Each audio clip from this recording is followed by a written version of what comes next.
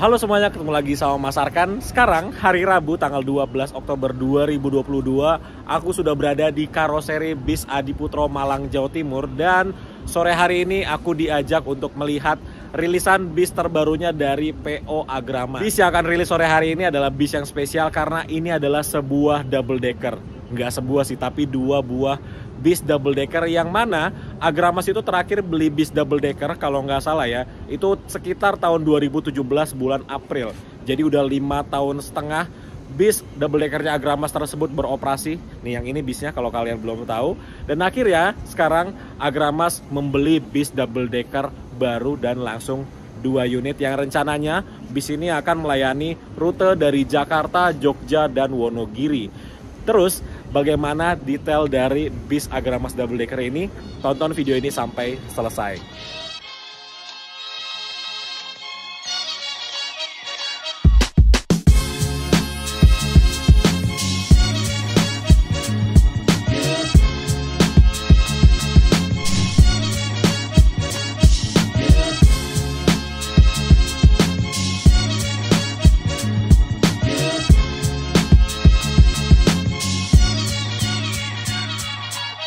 Teman-teman, sekarang jam setengah enam sore ini kita sudah berada di bagian finishing dari karoseri Adiputro dan ini dia bisnya dua bis double decker Agramas yang terparkir di finishing nomor 5 dan juga finishing nomor 6. Oke, sekarang kita lihat di bagian luarnya dulu ya. Kita walk around, kita puterin di bagian luarnya.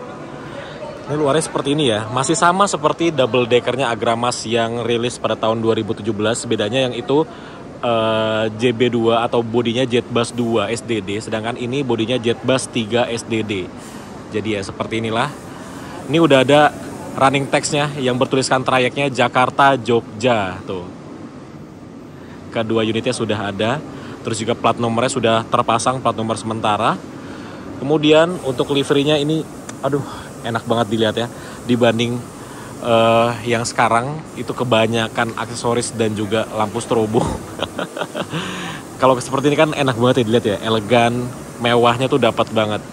Oke, depannya kita sudah lihat, sekarang kita ke bagian samping.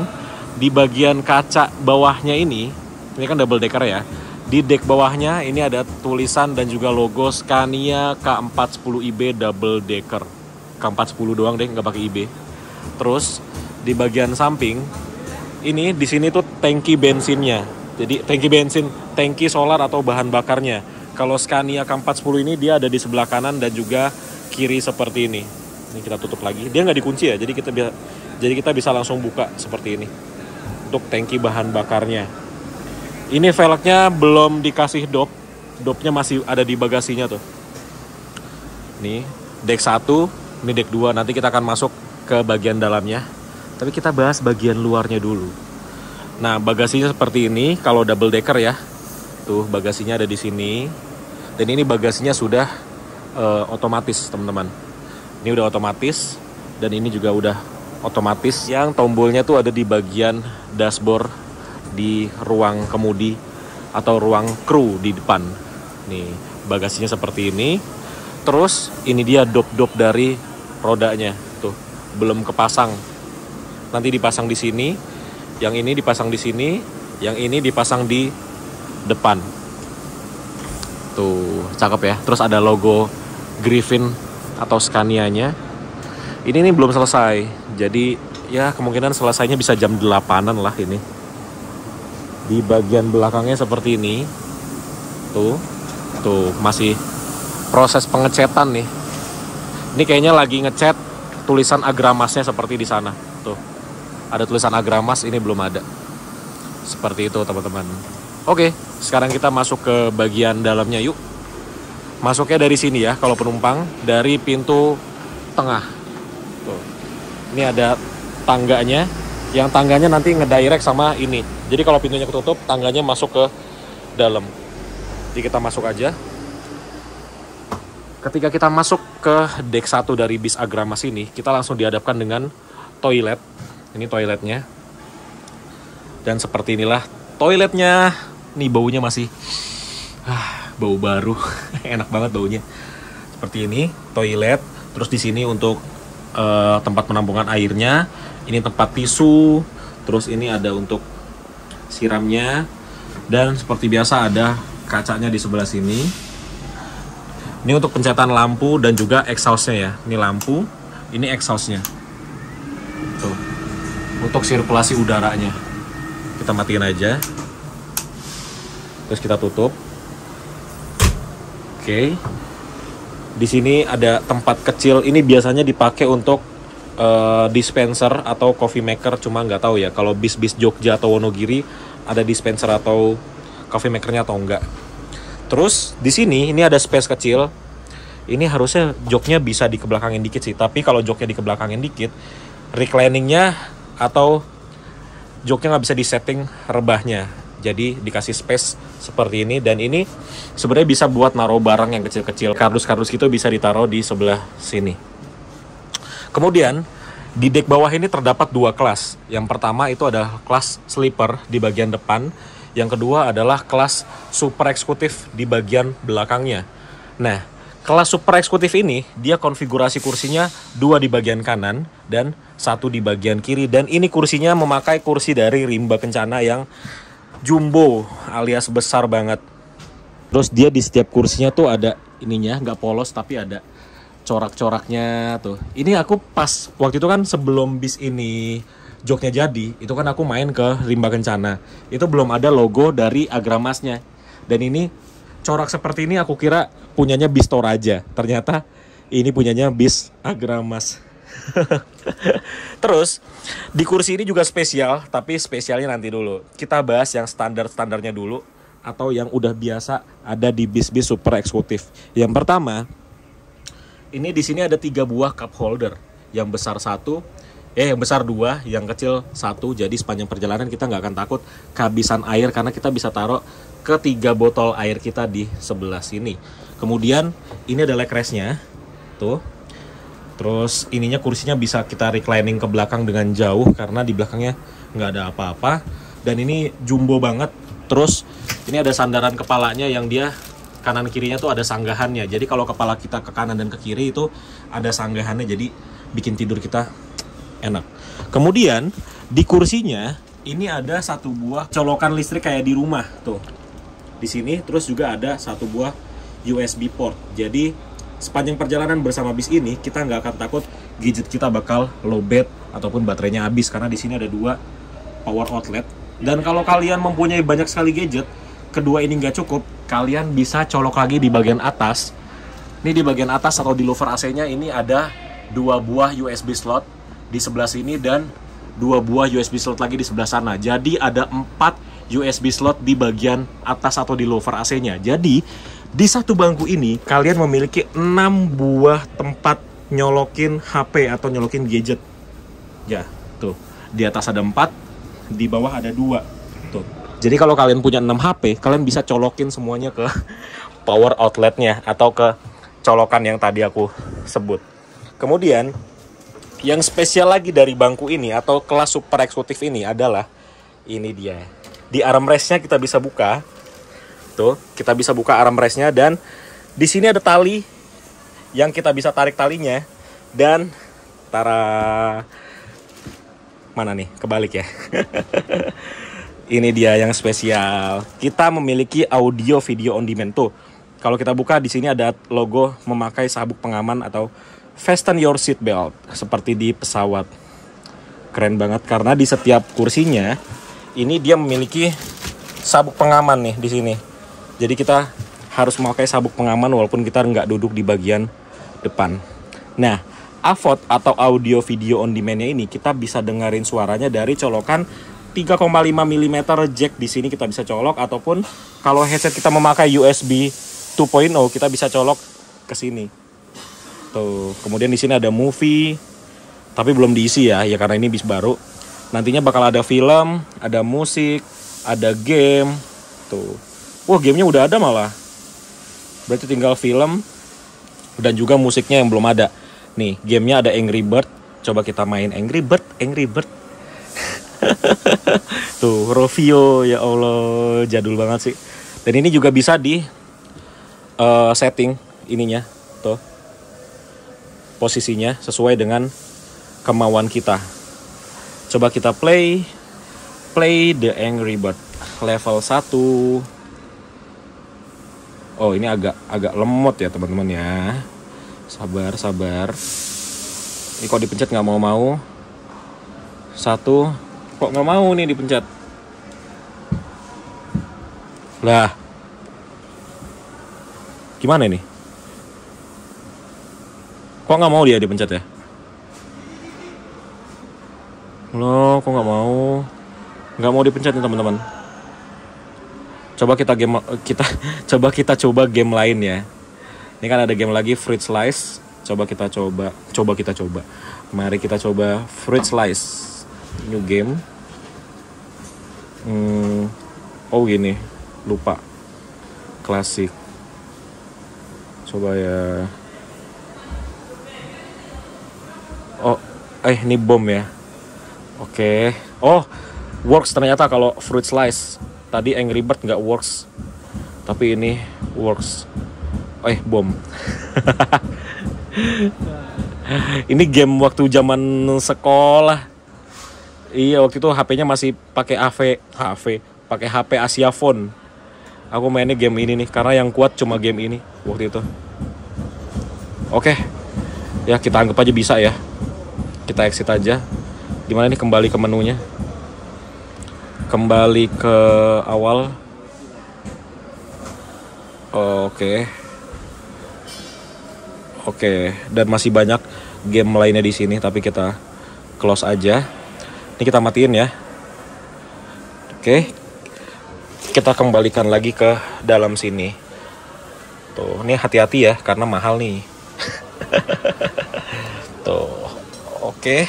Kalau kita sudah selesai, kita tutup lagi. Dan kembali menjadi armrest. Uh, keren. Nah, ini di bagian duanya juga sama fasilitasnya. Mendapatkan avot juga tuh di tiap armrestnya. Kemudian chargernya juga sama di sini. Terus kalau yang di sebelah sini, chargernya di sebelah sini. Tuh. Pokoknya semua di sini kelas super eksekutif ini fasilitas yang didapatkan sama. Kemudian di sini juga ada emergency door atau pintu darurat ada di belakang kursi nomor 6 nih. Nih, kursi nomor 6 di sampingnya ding, ini ada emergency door. Seperti itu teman-teman. Dan palu pemecah kacanya ada di sebelah sini. Ini ketutupan hording. Nih, palu pemecah kaca. Jadi kalau kalian dalam keadaan darurat atau emergency bisa gunakan palu ini untuk memecahkan kaca. Seperti itu. Nah, kursi paling ini bisa dibilang enak atau nggak enak ya. Sini sih. Tuh. Ini leg restnya unlimited. Jadi kalau kalian tingginya di atas 170 cm ini masih oke okay banget. Ini tinggiku 175 cm juga belum mentok dengan depan. Tapi ini adalah akses jalan penumpang dari kelas rebahan. Jadi ada enak ada nggak enaknya. Tapi menurutku ya dienakin aja sih. Oke, okay, kemudian kita ke kelas depan atau kelas sleeper atau first class karena ini belum dinamain sih. Ya kita namain aja first class lah ya. Nah, di kelas first class ini kita mendapatkan audio video on demand juga. Nih, audio video on demand di sebelah sini, tapi ini agak disayangkan karena terlalu jauh posisinya. Kenapa terlalu jauh? Oke, sekarang misalkan kita menjadi penumpang yang duduk di kelas rebahan seperti ini ya. Ini kan posisi kita rebahan nih. Nah, jaraknya sebegini jauhnya dengan avot. Lah, gimana cara kita mengakses avot itu ketika kita lagi rebahan? Nggak bisa dong.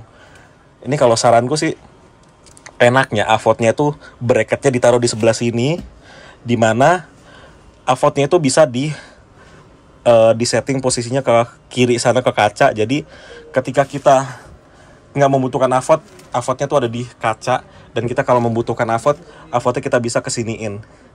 Jadi nggak jauh kayak gini. Ini kalau kita mau ngatur avot atau kita membutuhkan entertainment system kita harus bangun dulu baru kita bisa ngatur-ngatur ini.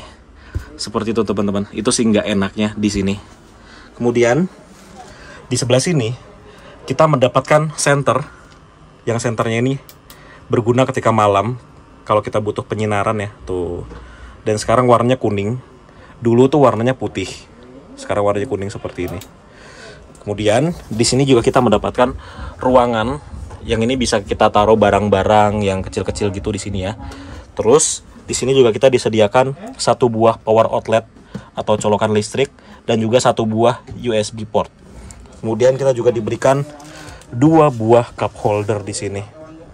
Kok banyakkan cup holdernya penumpang super eksekutif ya dibanding yang first class. Terus juga kita dikasih ini seat belt. Seat beltnya kayak pesawat. Tuh. Dan rebahannya segini. Bisa aku rebahan gitu ya. Ini rebahannya segini. Tuh. Ah, enak banget. Apalagi dia pakai rimba kencana. Jadi ini enak banget rebahnya. Oke, sudah selesai kita membahas di bagian bawah atau di dek bawah. Sekarang kita naik ke dek atas. Oke, sekarang kita ke bagian atas dari bis Agramas double deck ini dan sebelum kita ke atas, ini kalian harus lihat dulu. Di bagian dek bawah, ini tingginya sekitar 175 cm. Nih, tinggiku 175 cm dan ini ngepas banget tinggiku sama tinggi dari dek bawah bis double decker Agramas ini. Oke, sekarang kita ke atas. Nah, di samping tangga naiknya, ini kan ada pintu keluar. Nah, pintu keluar ini ada pencetan yang di mana ini digunakan pada saat darurat. Ini bisa untuk membuka dari si pintu ini. Karena pintu ini kan dia otomatis ya. Dia dikendalikannya dari dashboard pengemudi. Jadi ketika kita dalam keadaan darurat, ini kita bisa pakai tombol ini untuk membuka pintu ini. Oke, sekarang kita naik ke atas. Yuk, naiknya tuh dari sini. Ada tangganya dan tangganya seperti biasa tangganya di Putro ya, agak curam, makanya diberikan pegangan di sini. Tuh. Naik ke bagian atas, di sini terdapat 36 kursi, berarti ada 36 penumpang yang bisa di bagian atas ini. Kemudian di sini kita bertemu dengan dispenser. Nah, dispenser ini akan membuat kita nggak kehausan sepanjang jalan dari Jakarta ke Jogja maupun dari Jakarta ke Wonogiri nantinya. Kalian misalnya mau bikin kopi, mau ngeteh gitu ya, bisa pakai dispenser dan bikin pakai air panas yang ada di sini. Hmm. Jadi buat teman-teman nih, waktu itu kan sempat rame di TikTok katanya ada dispenser tapi nggak bisa dipakai. Itu pas aku lihat videonya ternyata dianya aja nggak bisa pakai. Cara pakainya tuh ini dinyalain dulu nih. Udah nyala seperti ini, misal mau air panas. Ini kalau diginin emang nggak nyala. Biar keluar air panasnya pencet ini. Kalau pencet ini baru dia keluar. Waktu itu nggak dipencet sama dia. Tuh video di tiktok mana yang nonton banyak lagi. Mempertunjukkan kebodohannya.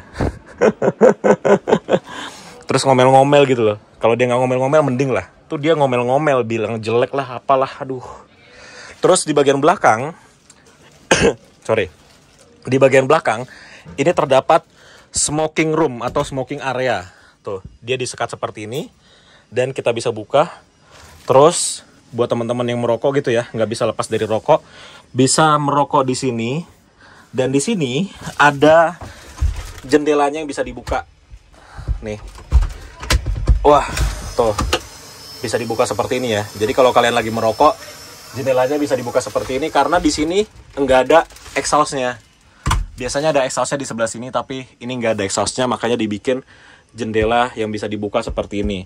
Kemudian kalau kalian merokok asbaknya eh asbaknya abu rokoknya jangan dibuang keluar. Kasihan orang. Nanti siapa tahu di bawahnya ada pemotor atau gimana kan kena matanya kan kasihan. Di sini sudah disediakan dua buah asbak. Tuh jadi kalian bisa buang abu rokoknya di sebelah sini teman-teman yang merokok ya. Jangan dibuang keluar mentang-mentang ada jendelanya terus kalian buang keluar aja gitu abu rokoknya. Jangan. Di sini sudah disediakan dua buah asbak gitu. Ya? Oke. Tapi memang di sini smoking roomnya ini didesain gimana caranya kita nggak nyaman di sini. Jadi kalian yang merokok gantian ya. Karena di bis ini ada 44 penumpang yang mungkin ya anggaplah 20 persennya perokok. Jadi kalian harus berbagi. Jangan lama-lama mentang-mentang di sini ada tempat rokok kalian berlama-lama di sini nggak mau gantian sama penumpang lain. Itu nggak boleh. Makanya dibikin uh, tempat merokoknya atau smoking roomnya ini nggak nyaman. Tuh lihat. Ini kakiku mentok banget loh. Dan ini mentoknya bukan mentok yang nempel tapi mentoknya sakit ini. Jadi yang didesain dia nggak nyaman supaya penumpangnya nggak lama-lama untuk merokok di ruangan ini biar bisa gantian sama yang lain. Oke. Sekarang kita kembali keluar. Ini tutup. Tutupnya tuh cukup didorong aja ya. Tuh nggak usah sampai dibanting. Oke. Kemudian di bagian atas ini ada kompartemen penyimpanan tapi kompartemen penyimpanannya nggak ada tutupnya. Seperti itu. Dan di sini ada pegangannya. Jadi kalau kalian jalan di bis ini tuh kalian bisa sambil pegangan ini. Jangan pegang bangku biasanya aku ngeliatin penumpang-penumpang gitu ya. Itu pegangannya bangku gini kan nggak enak. Jadi penumpang yang duduk kan keganggu kalau kursinya kita goyang-goyang gini kan. Nah pegangannya atas ini teman-teman.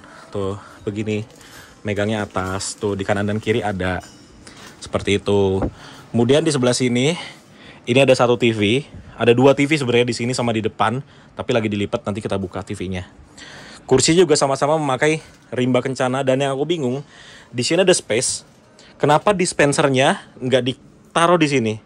Kalau dispensernya ditaruh di sini kan jadi penumpang yang di sini itu mendapatkan legroom yang lebih luas. Sekarang posisinya kalau penumpangnya di sini ada dispenser ya. Ini dia bakal begini nih tuh. Ya dong leg restnya nggak kepake. Mau nggak mau kalau mau pakai leg rest ke samping begini tuh baru enak. Karena dia ada dispenser duduknya begini. Tuh tuh. Ini agak aneh sih sebenarnya ini harusnya dispensernya kalau bisa digeser ke sana. Karena ini kan ruangan kosong nih. Sayang nih. Daripada kosong begini buat barang juga sayang karena di atas sudah ada kompartemen penyimpanan. Enaknya dispensernya taruh sini. Jadi penumpang yang di situ nggak tersiksa. Nih. Kalau kayak gini kan posisinya tersiksa banget penumpangnya. Apalagi yang pojok sini. Yang ada nanti kakinya malah dinaikin ke sini. Percaya deh 1000% kakinya bakal naik sini. Seperti itu kita ke bagian depan. Nah semua kursinya di sini memakai rimba kencana sama seperti di bawah. Ya satu di sini semua pakai rimba kencana sih. Terus untuk chargernya chargernya ada di bagian atas atau USB slot. Jadi buat teman-teman yang mau ngecas colokannya di sini ya. USB slotnya ada di bagian atas dan ini ada lampunya. Tapi belum dinyalain. Nah ini lampu pokoknya. Tuh lampunya ada dua. Yang akan menerangi ketika malam. Misalnya kalian butuh mau nyari apa gitu kan ini ada lampu di sini buat ngebantu penerangan. Terus di sini ada TV lagi. Nih TV-nya kita bisa tarik ke bawah. Hop. Nah tuh TV-nya jadi di bagian atas ini ada dua buah TV yang akan menghibur kalian sepanjang perjalanan tapi enggak sih. Bis malam rata-rata tuh penumpangnya tidur juga sih jadi TV-nya kayaknya nggak kepake. Kepakainya pas masih siang aja. Oke. Terus bagian depannya seperti ini. Dan seperti biasa kalau kalian duduk di bagian depan di nomor satu dan juga nomor dua atau baris satu dan baris dua itu kalian nggak mendapatkan kompartemen penyimpanan.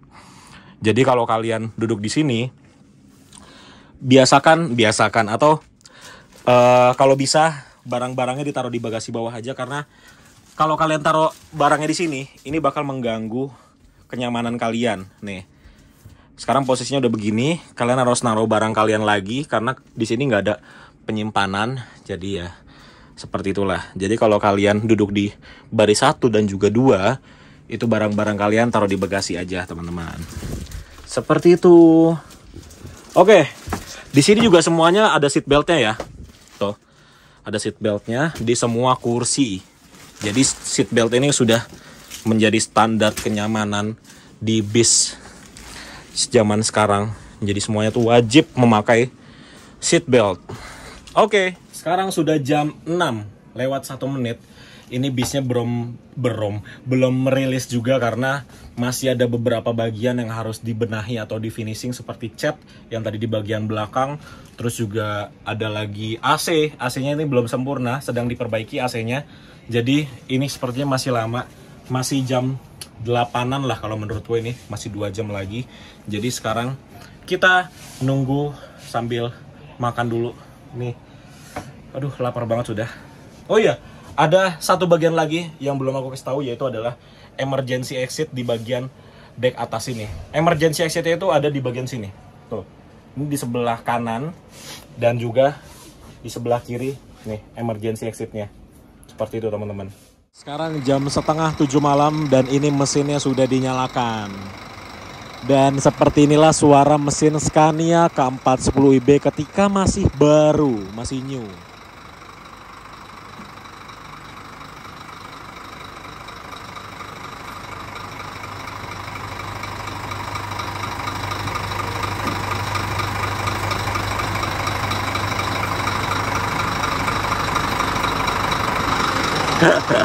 Gokil suaranya enak banget ya.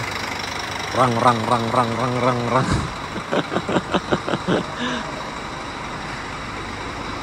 Asli, ini mobil, ini mobil. Ini bis kalau polosan begini kelihatan banget mewahnya, elegannya. Wah. Terus warnanya itu nyala gitu kalau malam. Karena dia dominannya warna merah. Hitamnya tuh cuma sedikit. Di sini aja hitamnya terus di bagian atas sama kaca sama ban.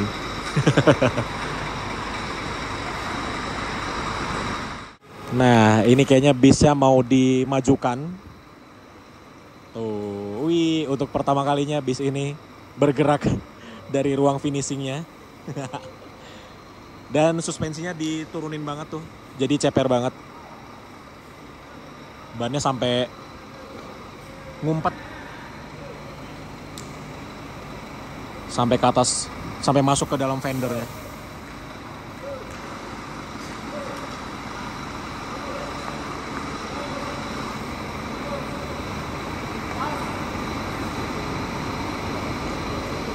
Wih, sumpah ganteng banget warna merah.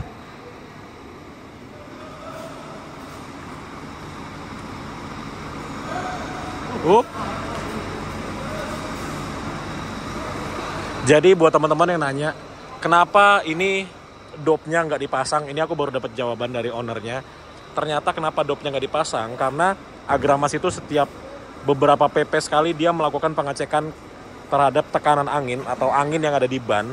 Nah, pengecekannya itu kalau pakai dop itu akan mempersulit atau memperlama proses pengecekan angin itu.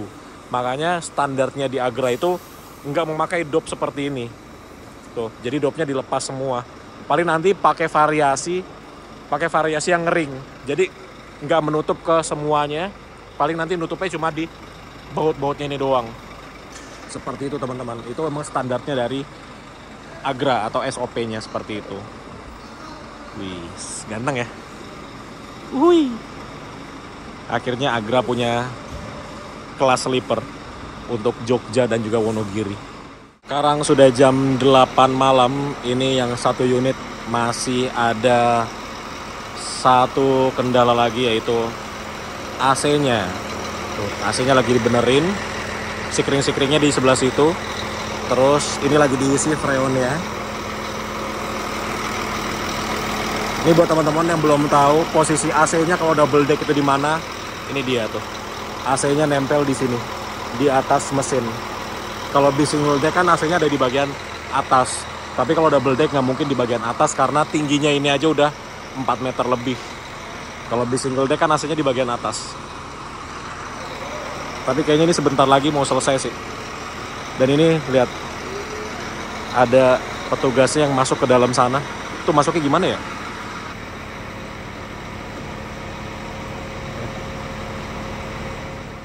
Jadi teman-teman bis ini akhirnya rilis sekitar jam 9 malam dan jam 8 aku sudah meninggalkan karoseri Adiputro karena ada satu keperluan. Jadi selamat untuk rilisnya dua unit bis double decker Agramas yang akan melayani rute Jakarta Jogja PP. Jadi buat teman-teman yang mau menaik bis ini bisa langsung aja pesan tiketnya ke agen atau aplikasi pemesanan tiket online yang ada agramasnya dan bisa langsung mencoba bis double decker terbarunya ini. Terima kasih buat owner Agramas yang sudah mengundang saya dan juga Mas Andriawan Pratikto untuk melihat rilisan bis terbarunya.